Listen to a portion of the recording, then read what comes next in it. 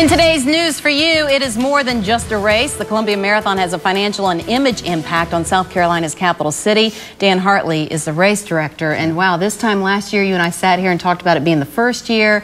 Right. It was hugely successful. And now you're back this year with another one. Right. So, as far as the impact on the capital city with the image, Right. what do you see has been happening with this over the last year? Well, I think the, I think the the overall morale of the running community. It's pretty cool to have a have a marathon and an event of this magnitude in our own home city, as opposed to having to go to out, out of state or other cities uh, within the state, Myrtle Beach or Charleston or Greenville or whatnot. So with us being the, the capital city, the largest city in the state, it's nice to have our, our own marathon and large event here. So And, you, cool. and you're playing off being the capital city with the finish going right up to the State House. Uh, absolutely, the finish line is right at the right at the intersection of Main and Gervais Streets, and uh, all the after you know post race festivities will literally be on the north lawn of the State House.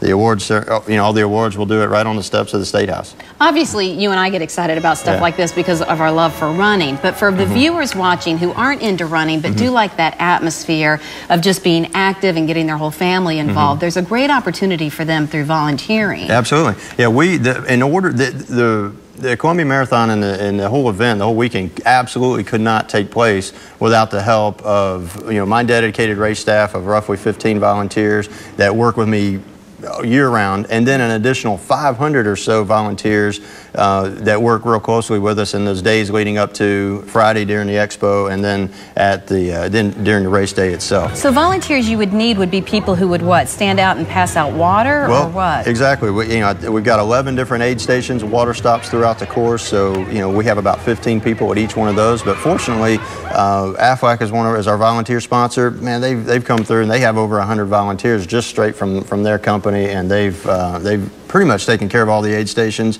Uh, where we need uh, probably the most help with volunteers right now is course marshals. You know, spread out throughout the course, Mm-hmm. just overseeing, just making sure from a safety standpoint, helping out the helping out the Columbia PD. So uh, we could certainly use help with course marshals throughout the absolutely. Let me show the full screens then real quickly, Dan, as we wrap up here. It's Mm-hmm. Saturday, March 9th on Sumter Street, uh, starting at the Town Theater there in Columbia. That's the Right. start. First start is at 7.30. Again, a, a full marathon, a half marathon, 5K, and a kids marathon. All the details are on the Big Red 10.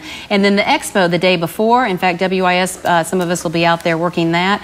It'll be at the Columbia Downtown Marriott on Hampton Street. All the details again on the Big Red 10. Dan, right. looking forward to it again. Thanks so much, again this Melanie. year. Good Appreciate job. your interest. Thank you. Well, time now.